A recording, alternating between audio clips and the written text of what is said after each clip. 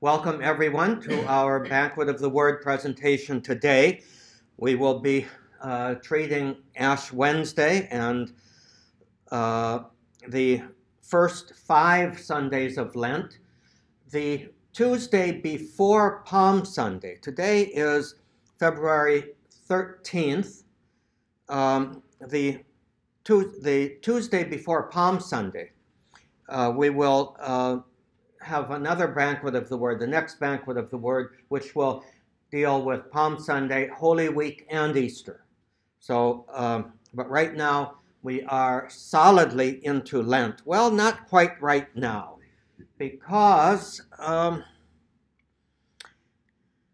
well, today is Fat Tuesday, Mardi Gras. So, happy Mardi Gras to everybody. Um, why is it called Mardi Gras? Well, that's French for Fat Tuesday. Why is it called Fat Tuesday? Well, a number of reasons. Uh, one, one of which is uh, the day before Lent, you gorge yourself on the things that you have to give up during Lent. And particularly in many cultures, the, the uh, uh Central European cultures in particular, uh, you'd give up meat, you would give up fatty foods, give up oil perhaps, give up eggs, and all of those sorts of things. So uh, the day before, you kind of uh, gorge yourself. Now, this day is also called, as you see, Carnival. And Carnival, uh, which is particularly celebrated in Latin countries by that name, uh, means carne vale. Carnis means flesh, and vale is the Latin word for bye bye, goodbye. So this is the day on which you say goodbye to the flesh. Now, that can have two meanings, of course goodbye to meat, or goodbye to all of the pleasures of the flesh, which is, I think, one reason why carnival tends to be marked in many countries by an excess of pleasures of the flesh. Uh, so much so that um, probably many people, including maybe those in New Orleans, you could, uh, I, I, I, can't really speak for that, I'm just speculating, but they don't too much like it when Lent comes early, like it does this year. It was even a week earlier two years ago. But um, they don't much like it when Lent comes early. They'd much rather have it late. Why? Because Mardi Gras celebration, the celebration of Carnival, begins with the Epiphany, January 6th. So the longer, the later Lent is, the longer you have to um, indulge in all of the wonderful celebrations that are kind of naughty and that you know that you will have to give up beginning with Ash Wednesday. In some cultures, uh, British in particular, I think it's called Pancake Tuesday. Uh, this was the day to perhaps gorge yourself. For simple people, the biggest indulgence might be pancakes made out of um, eggs added to the flour and milk and um, salt and possibly sweetening, but those things that uh, kind of also symbolize what you are uh, giving up. You know, ordinary bread that's baked could be just flour and water with some leavening. Um, but pancakes usually have all kinds of other ingredients that uh, just make them very, very nice. So Pancakes Tuesday, and of course Shrove Tuesday. You've heard the expression Shrove Tuesday. To shrive means to absolve, to forgive. This was the day when particularly in response to all of the excesses of the flesh, shall we say, uh, that characterized this day. Uh, many of the church people would say, hmm, that's not really the way, the, the way you should be preparing for Lent. The way you should be preparing for Lent is to go to confession, to call to mind the reason why you are doing Lenten penance. So that Lenten, Lent was often seen not as the time for, um, for reconciliation or confession, but but Shrove Tuesday was seen as the time for confession, and then Lent was the time to, well, do your penance. So that's where we get the word Shrove Tuesday. Uh, there's an interesting uh, Peter Bruegel, the elder. This is a portion of a rather famous painting of his that you can't see too clearly here. But this is the conflict between Mardi Gras and Shrove Tuesday, or Mardi Gras and Lent. And uh, what you see here is a religious penitential procession coming in from the left, and all of the revelries of uh, eating, drinking, and doing other things, which uh, uh, Bruegel is exceptionally good at depicting uh, being done, and they're kind of just coming into conflict. So that's a little bit of a background on today and what begins tomorrow. Well, tomorrow begins Lent, of course. Uh, I'd just like to take a little tour of this year's Gospels. And I could go into, you know, in some parishes, some of the masses will have last year's Gospels, year A, those particularly who are celebrating Christian initiation, and uh, that's the time of the uh, uh, rite of election and the scrutinies for those who are being initiated at Easter time. They use the the Gospels of year A always, which are those lengthy stories in John about uh, the woman at the well, the um, man born blind, and the uh, raising of Lazarus. But uh, there's a lot more in John's Gospels for Lent than just those three, even though they are very major incidents. So we're going to go through what the church gives us in year B. First of all, Ash Wednesday is the same every year, the same gospel, the same scripture readings. And the gospel from the uh, uh, Sermon on the Mount, um, Jesus is speaking of prayer, fasting, and almsgiving as the three pillars of our Lenten practice, but they are also the pillars of our lifetime practice. The purpose of Lent is not to spend six weeks doing something that you can then give up at Easter and forget about for another year. The purpose of Lent is as a training ground for the rest of our Christian life. So, what we do during Lent, as we'll see, is particularly beginning with prayer, fasting, and almsgiving, should be what characterizes our entire life. And Lent is a time to, well, just do a little training uh, to get better at what we are supposed to be doing all the time.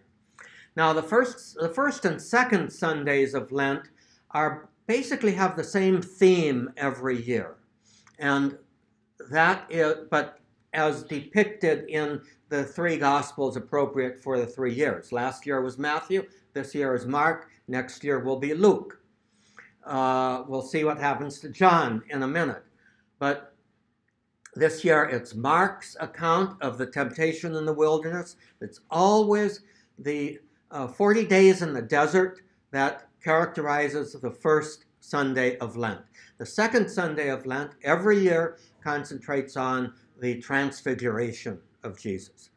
And then uh, the third Sunday this year is uh, the uh, telling in John's Gospel of Jesus cleansing the temple and reflection on the meaning of his cleansing the temple which is unique to John's Gospel.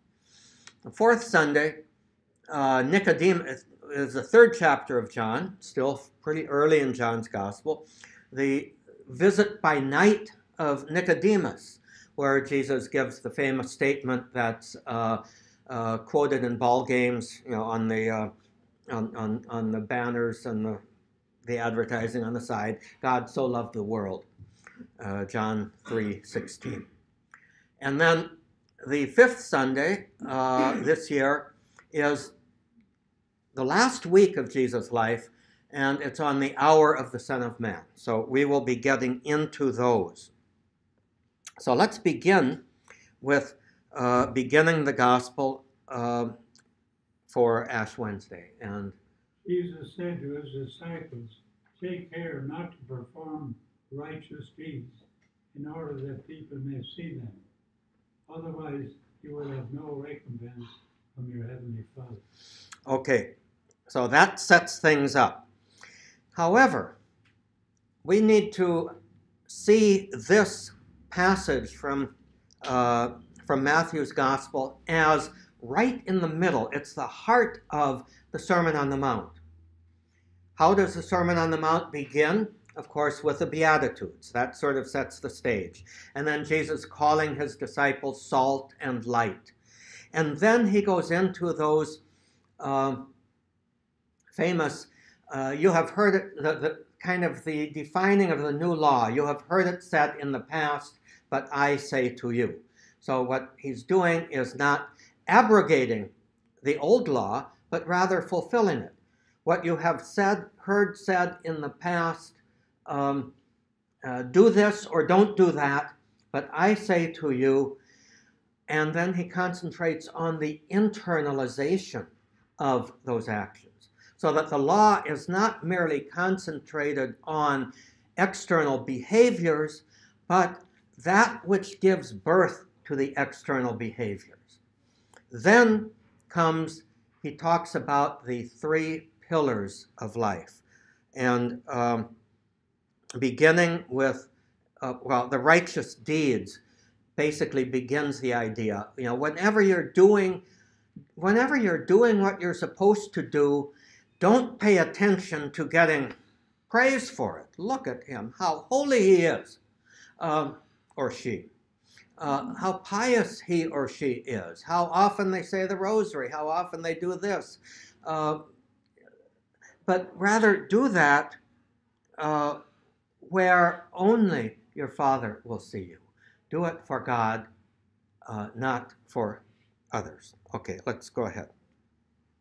When you give alms, do not blow a trumpet before you, as the hypocrites do in the synagogues and in the streets, to win praise of others. And then I said to you, they have received the reward. But when you give alms, do not let your left hand know what your right is doing, so that your alms giving may be secret, and your Father who sees in secret will repay you. One thing that a number of people will uh, think about and comment on is that Jesus' hearers, they were Jewish, but they knew Greek culture. Greek culture had been a part of their life for the, the past several hundred years, and there was often conflict with Greek culture. When the Romans came, as I reflected last time, um, something that isn't often uh, recognized is that Nazareth was probably something of a construction town, a town where laborers building the Roman city of Sepphoris, which was a project of Herod Antipas, the son of Herod the Great. Sepphoris, uh, uh, construction workers, uh, many of them lived in Nazareth. They would have commuted, not a terribly long commute. Walking from Nazareth to Sepphoris was probably shorter than a lot of commutes here on the freeways in Los Angeles are. And so uh, Jesus was familiar with Greco Roman culture simply because it was right next door, and he may very well, during what we call his hidden life, he may very well have been a construction worker on that city. So he was pretty familiar with the life of the Greco Roman people, the Gentiles there, as well as a sizable Jewish community there. There's a huge, not huge, but a very large uh, theater in Sepphoris that Jesus himself certainly knew about and may have uh, participated in the construction of it. And the Greek word for hypocrite is actually a, uh, a, a, word that refers to acting. An actor is a hypocritos. That means one who adopts a mask. And you know how Greek drama, you've got signified by the two masks the comedy with a grin and the tragedy with a frown. And so, what he is saying here is in what is the very heart of your outward spiritual life, don't just be an actor. Don't just give in order to make an impression on people, but it has to come from the heart. What, what, when he's calling people hypocrites, what he's basically saying to them is take your mask off. Take your mask off. Be real. Let, the, let what you do outwardly flow from and express what you are inwardly which is really the meaning of the entire Sermon on the Mount.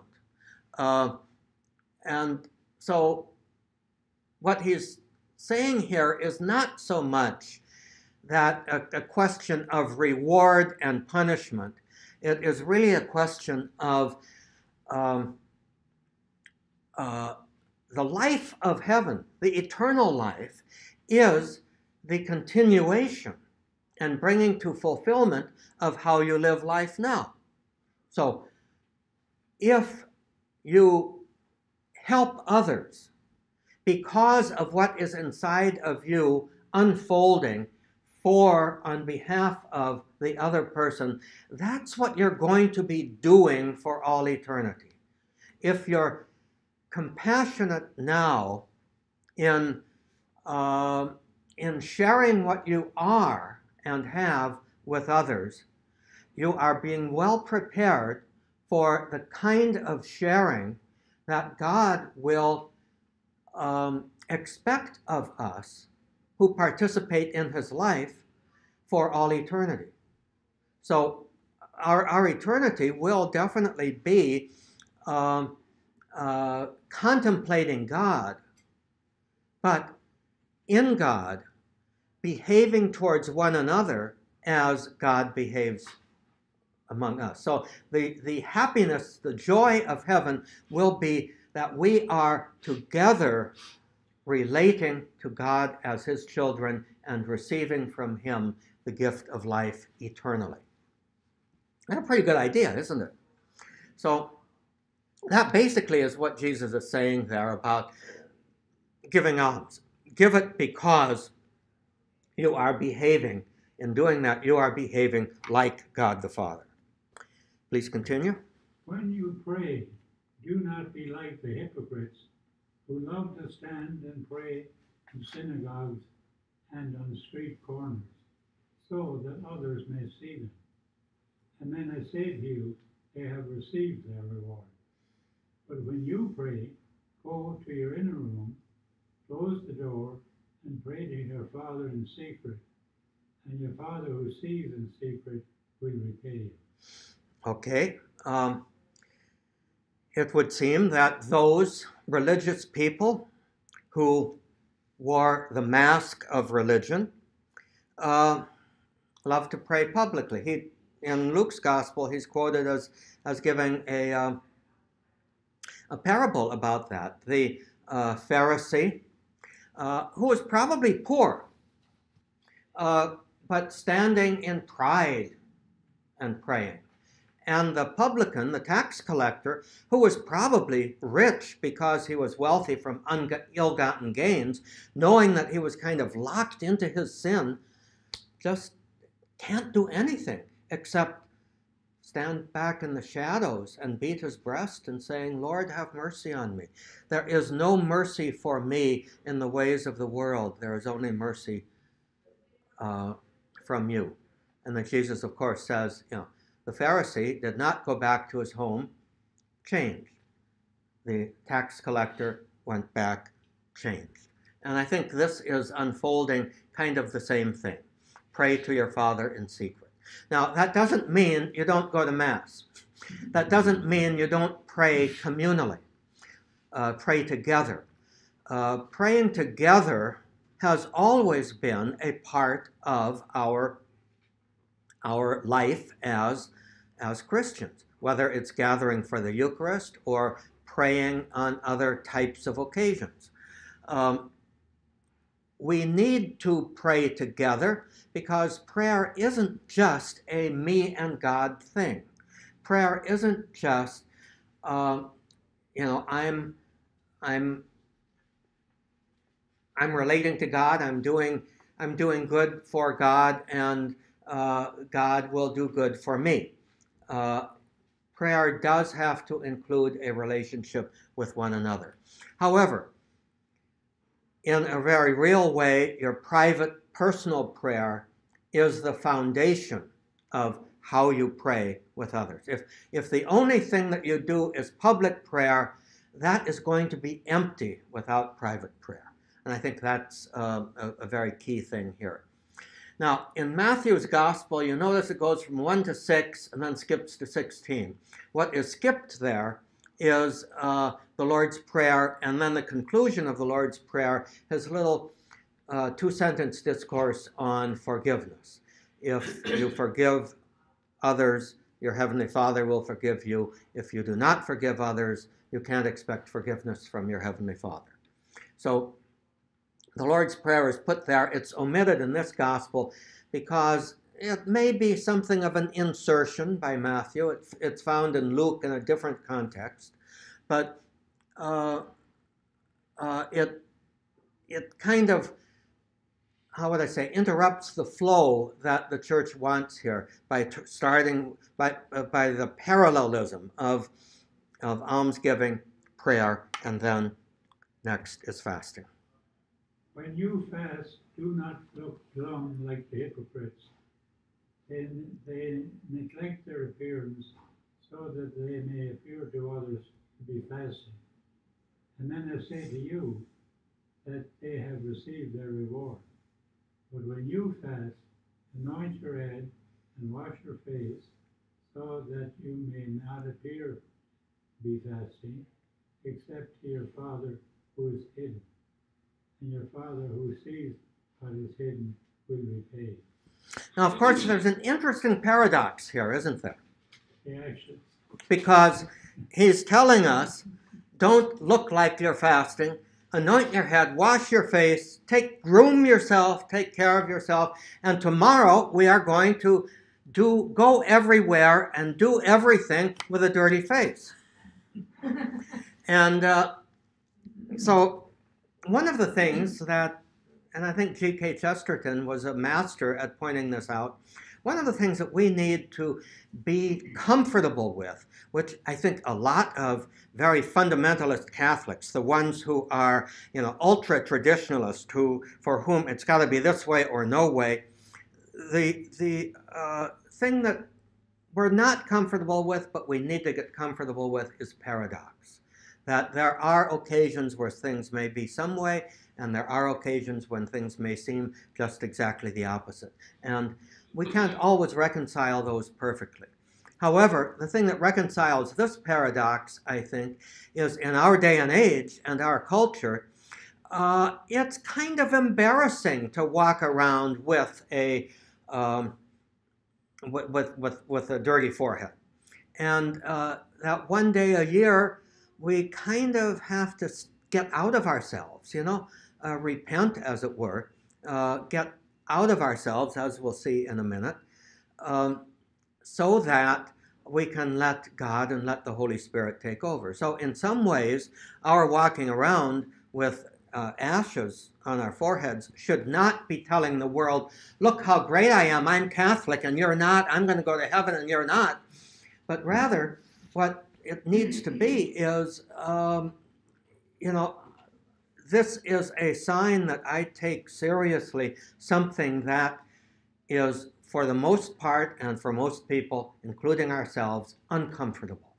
And uh, uh, what that sometimes means is, as, as I think uh, we've all experienced. You know, we have people looking kind of strange at us, and maybe uh, we're afraid that they're going to laugh at us or make fun of us. But we also have people asking about it in all sincerity, and this becomes a chance for us to tell them the, the deeper meaning of what the Lord is calling us to as um, in accord with the way that the Lord has created and redeemed us. So that is it for tomorrow, for Ash Wednesday. Now, here's the first Sunday of Lent, which is quite short. So, whoever has it, read the first part, if you would. The Spirit drove Jesus out into the desert, and he remained in the desert for forty days, tempted by Satan. He was among wild beasts, and the angels ministered to him. Now, Matthew and Luke give the substance of those temptations as three temptations, three distinct, attractive things that Satan presents to Jesus that would go contrary to his ministry, that he, in no uncertain terms, overcomes and says no to. Mark, which is the oldest of the Gospels, the first of the Gospels to be written down, uh, simply goes to the heart of things and says, He was tempted by Satan. He was among the wild beasts. He fasted uh, for 40 days.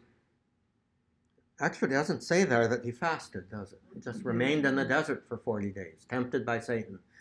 And among wild beasts, and angels ministered to him. He was still drawing on the power of God, his Father, through the, through the angels. What is interesting, this takes place right after the baptism in the Jordan.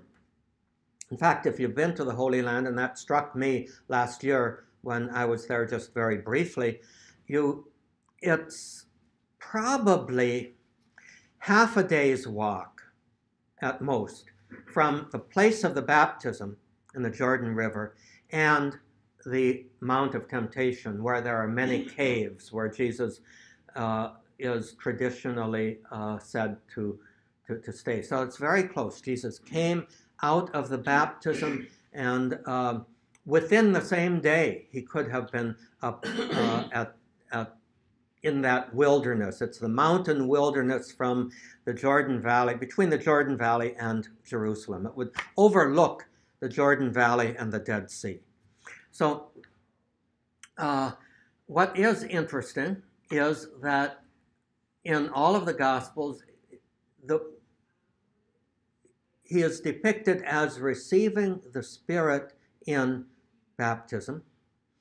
Uh, we could go all kinds of theological commentary on that, but you know this is certainly the Spirit which empowered his going forth into ministry. And the verb that is used always is not merely led, you know, sort of taking him by the hand and uh, and walking up the mountain, or telling him, guiding him, you know, I'll take this path and go up there. The word that's used is drove. Now, not driving a car, but driving a herd of cattle, you know, with a whip. Uh, so the Spirit drove Jesus out into the desert. Sort of like, well, with the baptism, Jesus humanly had to struggle with the work of the Spirit that would ultimately triumph in his ministry. But he had to struggle with what does that mean? How do I do it? What do I have to give up? What do I have to do in order to be faithful to this ministry? You know, if we if we take our faith seriously, Jesus experienced every single temptation, every single problem, every single difficulty in some way that we experience. He didn't have an edge. Jesus wasn't just sort of a, a human puppet that was, well, you know, the outcome was foreordained. No. He had to, he had to struggle with the same uh, sort of reluctance and uh, you know, my God, I'd rather do anything but this. I'd rather be anywhere except here. You know, and we've all had to struggle with that same thing too. That's what Jesus was doing in the, out, out in the desert.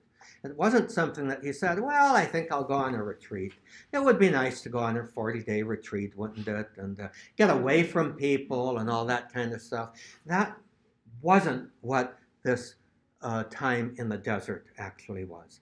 It certainly was a time when he had to come to terms with what his ministry would be. And then the next verse uh, tells us what the beginning of that ministry was, which was actually um, launching from what John the Baptist had uh, had proclaimed, had preached. So, could we have that?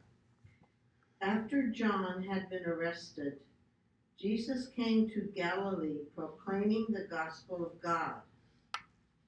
This is the time of fulfillment. The kingdom of God is at hand. Repent and believe in the gospel. In this very stark, compact, um, concise way of describing this that that Mark has, you if you really pay attention to the words and what's behind the words, like the Spirit drove Jesus into the desert, into the wilderness. Now, after John had been arrested, Jesus came to Galilee proclaiming the gospel of God, which was launching from what John the Baptist was doing. What happened to John the Baptist? Well, he got arrested and he was eventually beheaded. Jesus had to know that in following in the footsteps in the beginning here of following in the footsteps of John the Baptist, he was going to suffer the same fate as John the Baptist.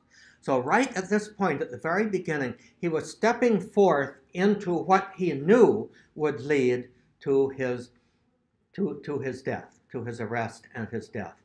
Uh, and, uh, you know, but, but I'm, this foreknowledge of Jesus, of his passion and death, is not something that he had to be God in order to know. He only had to have common sense. He only needed to, to be aware that as a result of the Spirit driving him into the desert and what happened there, and his own, you might say, change of mind or adopting the mind of God through the Spirit, he had to know that uh, this was not going to end in any way other than what John the Baptist had to suffer. Now, for the resurrection and whatever knowledge Jesus may have had of the resurrection, we'll leave that for the moment in God's hands. Um, it's, it's important for us maybe now to think, you know, we can say, oh, well, Jesus knew he was going to rise again from the dead and all that, you know, so that doesn't make it so bad. Well, if he was fully human, I don't think he had an inside track uh, on us. He didn't have an advantage over us. We don't know the outcome. Our outcome has to be known only by faith. His outcome, actually, humanly speaking, had to be known only by faith. We can't say his divine nature gave him an advantage over us that we don't have. And uh, no, he, he participated in everything that we are. So, what was this?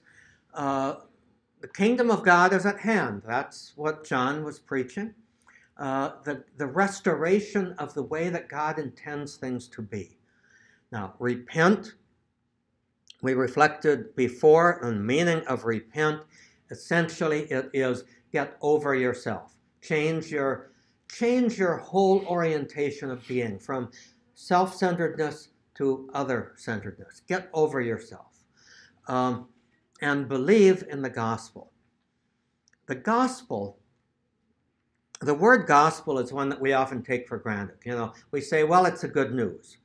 And uh, sometimes priests will, you know, replace the word gospel with good news because people know what good news is and they don't really know what gospel is. Well, if you just replace it with good news, you don't really know what gospel is anyway, either.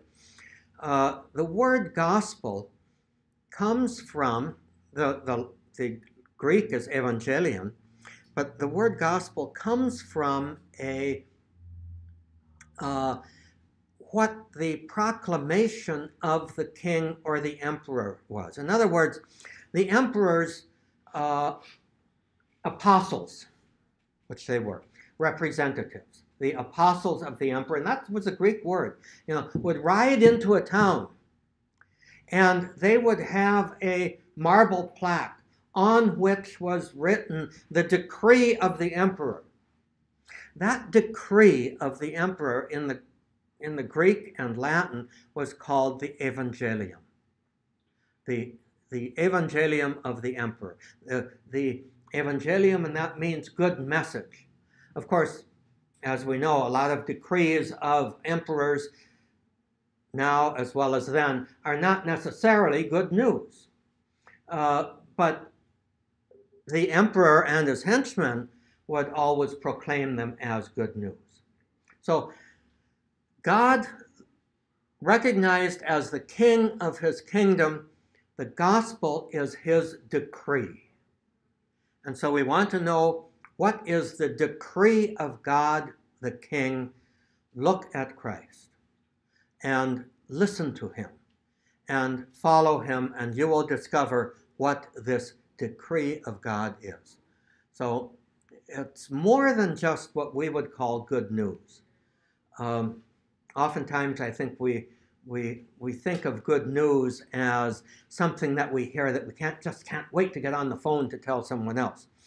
Uh, that too was part of the spread of the good news in the early church. What some what some authors have called gossiping the gospel. If you really are on fire with the gospel as good news, God, you want to share it. Get on the phone and tell everybody, boy, do I have something juicy for you. God is triumphing. God in Jesus is, uh, is our Savior, and, and so on and so forth. So that one word, gospel, is far richer in meaning than we ever really thought. First Sunday of Lent, now the second Sunday of Lent, Transfiguration. Who has it? Jesus took Peter, James, and John and led them up a high mountain apart by themselves. And he was transfigured before them, and his clothes became dazzling white, such as no fuller on earth could reach them. Then Elijah appeared to them, along with Moses, and they were conversing with Jesus. Okay. Um, the gospel mentions fuller. His clothes became dazzling white, such as no fuller on earth could bleach them. We have people named Fuller. Uh, they were not exactly, they didn't exactly have a very gracious job because uh, fulling meant that uh, the raw, cloth or the raw wool had to be cleansed, had to be cleaned, and had to be whitened. And what that was done was actually with bare feet, pounding on it in a vat of urine. It was the uric acid in the urine that contained the bleaching agents that processed the uh, processed the cloth. But uh, you know, natural wool, uh, even coming from a white sheep, is going to be rather dirty gray in appearance.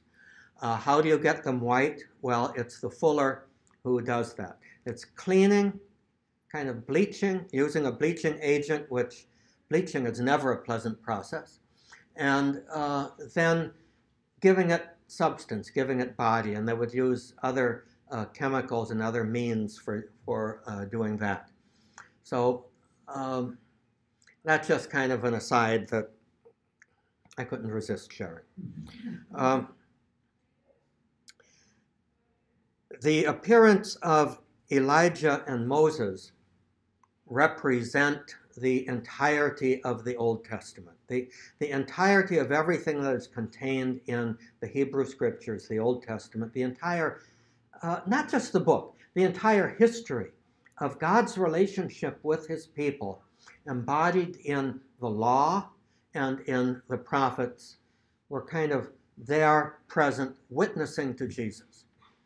Now, um, okay, let's let's go on. I'll I'll interpret a little bit more in the in a moment. Then Peter said to Jesus in reply, Rabbi, it is good that we are here. Let us make three tents, one for you, one for Moses, and one for Elijah. He hardly knew what to say. They were so terrified. So, what did they say? Rabbi, it's good for us to be here. Let's make tents. What was the meaning of the tents? Well, tabernacles is kind of the word. We, we call the repository, the place where we reserve the Blessed Sacrament as a tabernacle, but what tabernacle actually meant was a, a, a, um, a tent out in the desert as you're traveling, a sojourn. It also meant the uh, tents that housed an army and the command of the army when they're out on campaign. So what what Peter was actually saying here is, boy, I'm glad that you've given up all this cross talk and suffering and rejection talk, and you're now talking some sense. You know, let's make this your uh, uh, our uh, headquarters. Uh, let's erect our tents here. Now there's you, there's Moses and Elijah. We've got the whole, we've got the whole leadership team.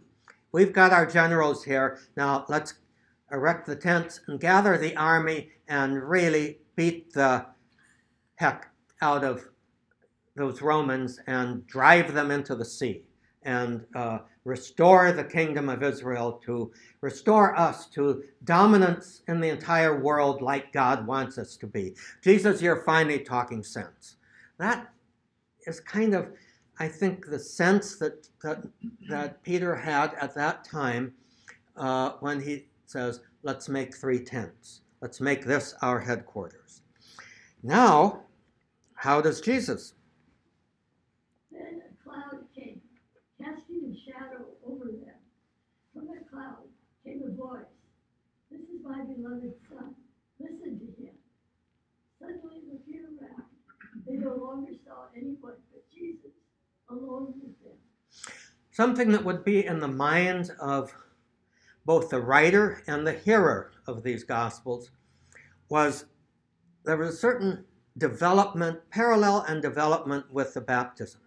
The baptism of Jesus, the uh, heavens opened and the voice comes that others seem to have heard, but was addressed to Jesus. You are my beloved Son, in whom I am well pleased. Now, that's something really great for God to say. Of course, God then sends his spirit and drives him into the desert, which was not exactly um, a desert resort. Um, here, the same cloud casts a shadow over them. That's got rich significance from the Old Testament. And the voice says, This is my beloved Son. Listen to him. Not speaking to Jesus, but speaking to the apostles. This is my beloved Son. Listen to him. Now, if you look at what came before the Transfiguration, it is very easy to add a word to that uh, statement. This is my beloved Son. Listen to him, dummies. because they weren't listening to him. This is after the first time that Jesus predicts to them his passion. I'm going to Jerusalem to suffer and die, and on the third day will rise from the dead. But that obviously had to be revelation from God. It didn't take much, uh, it didn't take any supernatural knowledge for him to know that if he went to Jerusalem, the likelihood is he would he was walking into his own death. And that's uniform in all the gospels. And they were saying, of course, you know, this can't happen to you. No, no, no, no, no. And they were oblivious to him. So real purpose of this transfiguration was to give them a glimpse of his glory as the Son of God, yes, but in doing so, to say, stop, stop putting your own desires into this, your own intentions. Stop, stop making, trying to make Jesus something that he isn't. Stop trying to make him your own kind of Messiah. Listen to him. Listen to him. Now, we see from when they went down the mountain, uh, they didn't seem to be changed at that moment. It was only after the, the uh, Holy Spirit comes, after the resurrection and ascension, that they really began to fully understand this. So, what happens as they come down the mountain? As they were coming down from the mountain, he charged them not to relate what they had seen to anyone, except when the Son of Man had risen from the dead. So they kept the matter, they kept the matter to themselves, questioning what rising from the dead meant. Just a little footnote about um, Mark's gospel that throughout Mark's gospel, he continually tells the people who received his healings, who saw his miracles, not to tell anybody. Be quiet about it. And they continually disobeyed him because, uh, because they were filled with what they thought was good news. Hey, he healed me. Come on, he'll heal you too. And, and they would try to make him the kind of king that he was not. Same thing here. Uh, the disciples still did not understand even after this. So he said, you know, until you do understand it, be quiet about this. Don't spread this about because people will then be coming for the wrong reasons. They will be looking at me as, as the general who's going to um, kick the Romans behind and kick them out of uh, uh, kick them out of our land and restore the kingdom, and that's not what my kingdom means. Okay, third Sunday. We're going into John now. Who has third? Since the Passover of the Jews was near, Jesus went up to Jerusalem. He found, he found in the temple area those who sold oxen, sheep, and doves, as well as the money changers seated there. He made a whip out of cords and drove them all out of the temple area with the sheep and oxen, and spilled the coins of the money changers, and overturned their tables. And to those who sold doves, he said, Take these out of here, and stop making my father's house a marketplace. Okay, this is an, an event that is narrated in all four Gospels. Uh, but in Matthew, Mark, and Luke, it occurs at the beginning of Holy Week, after Jesus' triumphal entry into Jerusalem. Here in John, it, begin, it occurs at the beginning of Jesus' ministry as kind of defining that his role as coming to purify the worship of um, the temple worship and to bring it to fulfillment, as he will say later, and destroy this temple, that it would be his body, and he will raise it up in three days. So, as is so often the case in John, he's taking these events and making them signs of transformation from the old order to the new order that Jesus is doing, uh, that, that Jesus' ministry is. Just one little of course, this is so dramatic, it's a subject of a lot of art for, throughout the ages. But uh, one of the uh, little interesting things that uh, if you recognize that the people who knew John's gospel were probably familiar, at least with the stories, if not the text, of what was in the other Gospels, in the Gospel of Luke, what was the sacrifice that was offered for the uh, redemption of the firstborn for somebody who was poor, who could not afford a sheep or goat or, or cattle. It was doves. And people would have to buy those doves in the temple precincts. And so it looks like he is being a little more gentle with those who are selling doves. And people would say, uh huh, well, uh, he himself was ransomed by the sacrifice of the doves in the uh, Luke's account of the presentation in the temple. So uh, that's just kind of one of those little touches here that we find in, in John's gospel. Let's go on. His disciples recalled the words of Scripture Zeal for your house will consume me. At this, the Jews answered and said to him, What sign can you show us for doing this? Jesus answered and said to them, Destroy this temple, and in three days I will raise it up. So you see, what John is doing is presenting Jesus as doing something and then interpreting what he is doing. And he's saying basically that the temple worship itself, he's not just purifying the old temple worship, but the temple worship itself is going to be transformed because the new temple will be his body. Go ahead. The Jews said, This temple has been under construction for 46 years, and you will raise it up in three days? But he was speaking about the temple of his body. Therefore, when he was raised from the dead, his disciples remembered that he had said this, and they came to believe the scripture and the word Jesus had spoken.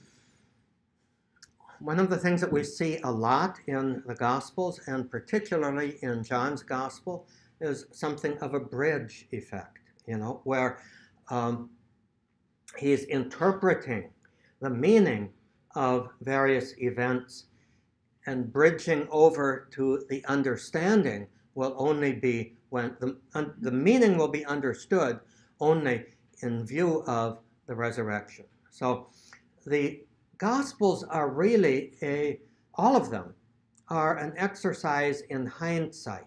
They're not sort of like a newsreel account. Um, they're not just telling it like it happened. They're telling it like it is from the perspective of the full meaning that is revealed only after the resurrection. So now we go to the conclusion of that section. While he was in Jerusalem for the feast of Passover, many began to believe in his name when they saw the signs he was doing. But Jesus would not trust himself to them because he knew them all and did not need anyone to testify about human nature. He himself understood it well. Again, you have a sense of a bridge. This John presents this as taking place right at the beginning of his ministry. This Passover is the first Passover uh, in his in his public ministry. There's probably the Passover of his death and resurrection would probably be the third Passover after this. So he's making use of the Passover as saying, here's the beginning of what's going to be fulfilled in a couple of years. Now, we move on to John chapter 3. We're still towards the beginning of, uh, of, of John's gospel. And Nicodemus. Jesus said to Nicodemus, Just as Moses lifted up the serpent in the desert, so must the Son of Man be lifted up, so that everyone who believes in him may have eternal life. For God so loved the world that he gave his only Son, so that everyone who believes in him might not perish, but might have eternal life. Now, here we are, still towards the beginning of Jesus' ministry. He is still in Jerusalem.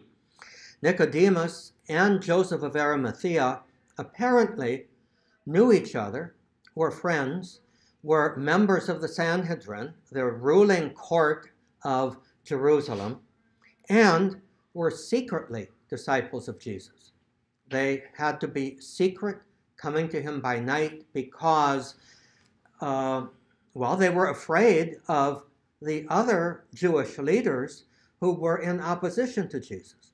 So it's interesting that you know, they were secret followers, but they did not have the courage to make that break, to have that metanoia, to get over their connections with their old life in order to follow Jesus fully.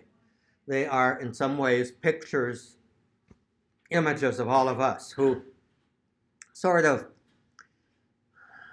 I hate to use the word, don't be offended by it, but who sort of dabble in, uh, in holiness, dabble in doing what God wants, dabble in being uh, disciples of Jesus. But when push comes to shove, will we really manifest the commitment that would be costly, even perhaps costing our lives, our reputations, our well being, and, and so on?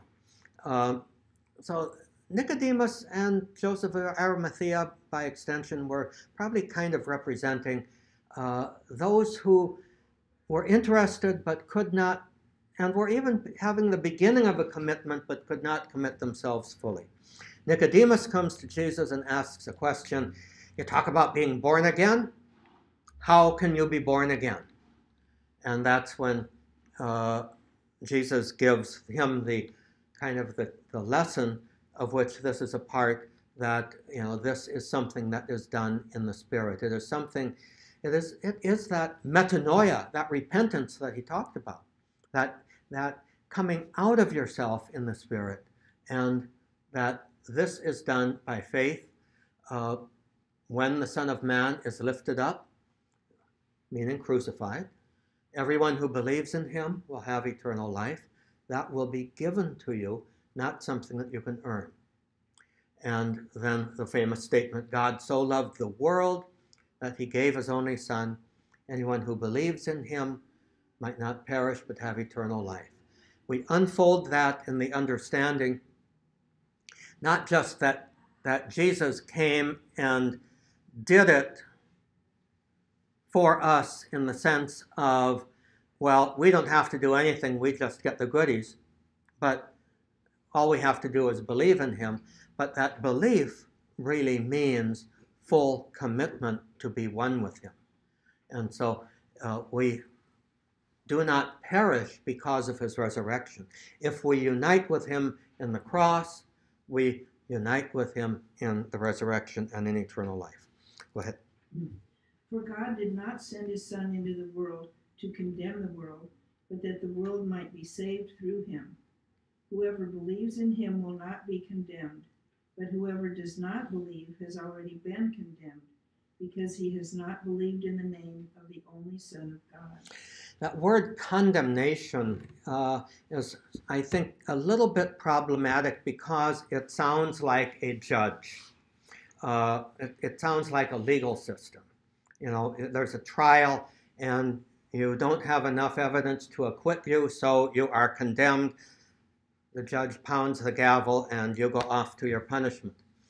I, I think that it has a little bit of a deeper meaning there, that we are, by our fallen nature, we are alienated from God.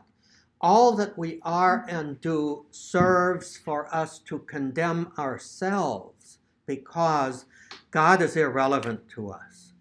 And salvation then is that God comes to us and unites us to himself in Jesus Christ.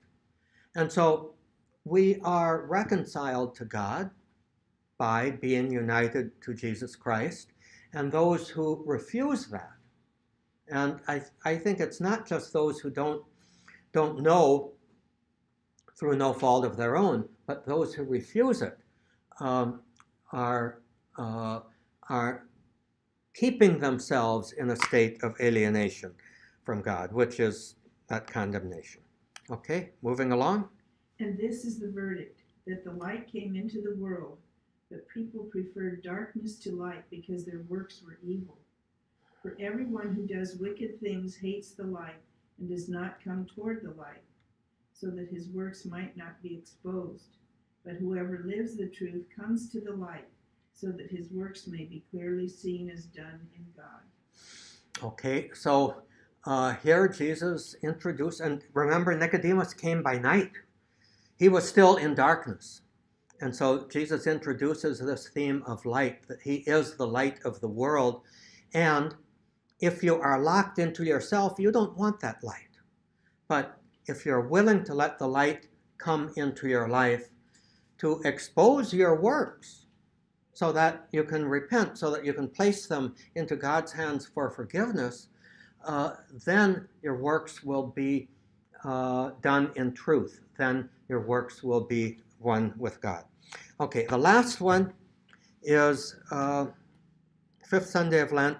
Here, John chapter 12, we are in the last week of Jesus' life. He has already come uh, into Jerusalem in the triumphal entry, the Palm Sunday entry. And the verse right before this, verse 19, has the whole crowd witnessed the raising of Lazarus, which happened right before Palm Sunday. And they were teaching about Jesus. They were testifying about Jesus. So Jesus was uh, being buzzed about in the air.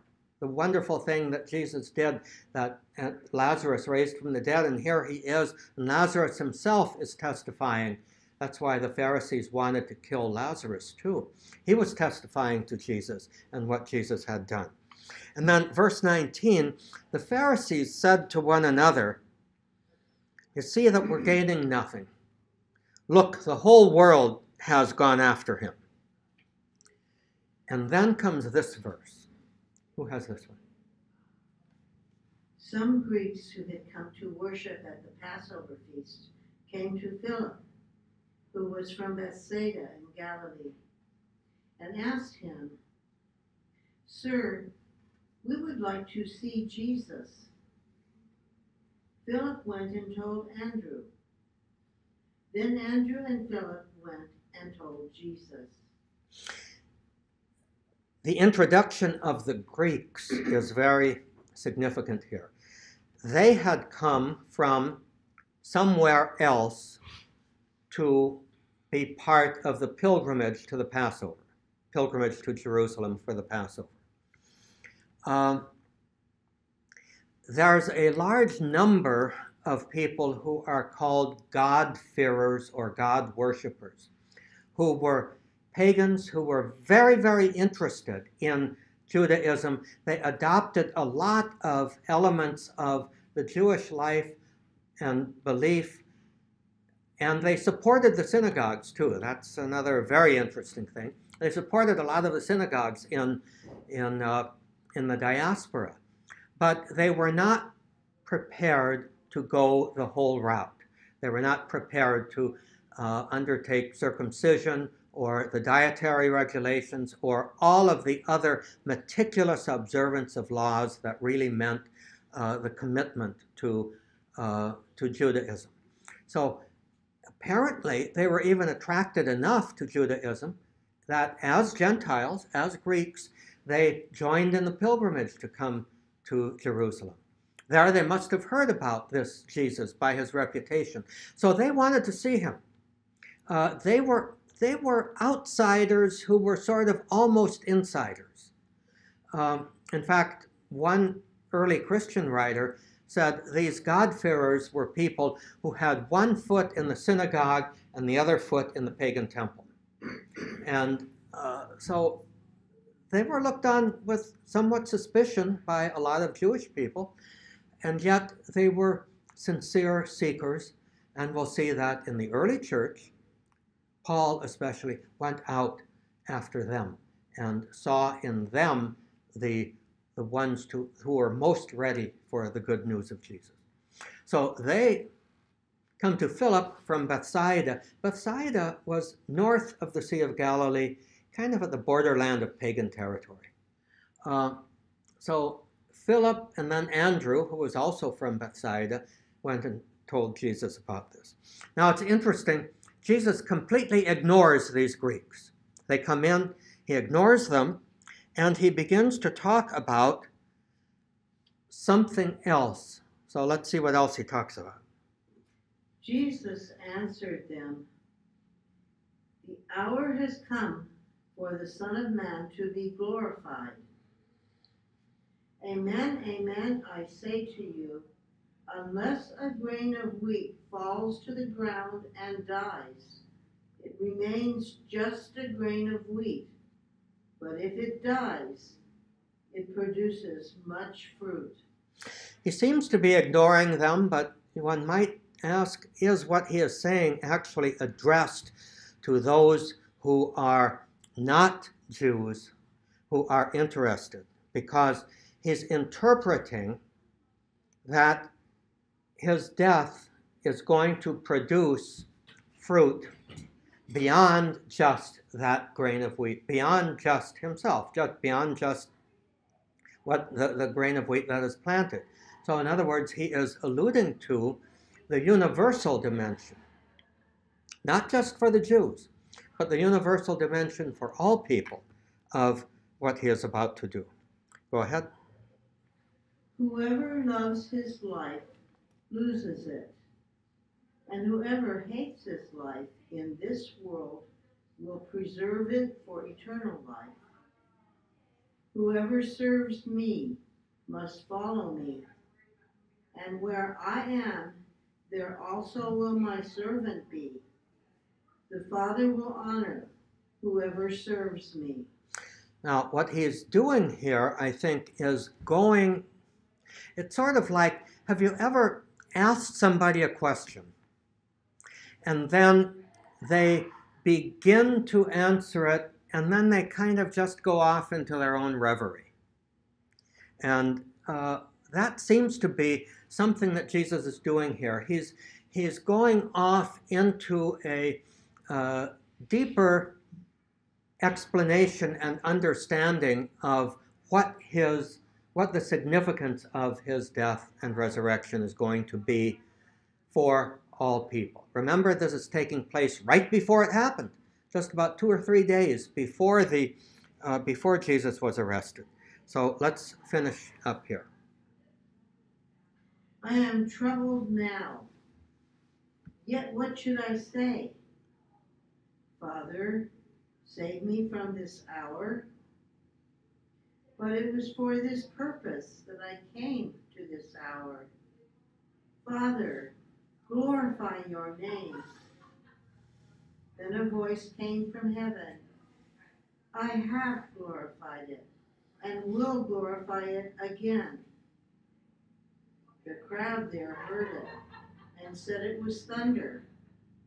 But others said, An angel has spoken to him. Notice in the first part of this section, uh, we have kind of the, the dialogue or the monologue, if you will, that Jesus had uh, in the Garden of Gethsemane.